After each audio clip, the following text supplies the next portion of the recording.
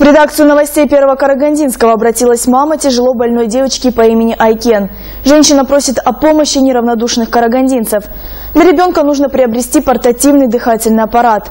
В конце 2010 года девочка получила травму в результате наезда машины в Щучинске.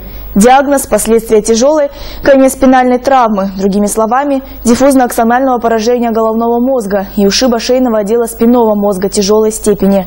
На данный момент оказана вся возможная медицинская помощь и рекомендовано возвращение домой. Но так как Айкен не может дышать самостоятельно, вернуться в родной дом пока невозможно. Сейчас состояние ребенка тяжелое. Операция Айкен возможна только в клинике Израиля либо больнице КНР. Для операции в Израиле требуется 50 тысяч долларов США. Для операции в Китае 35 тысяч долларов. Мы призываем всех оказать содействие и помочь Айкен. Нет, у меня нет такого ощущения, что у меня какой-нибудь всю жизнь лежать. И ей сны снятся, как будто она ходит во сне.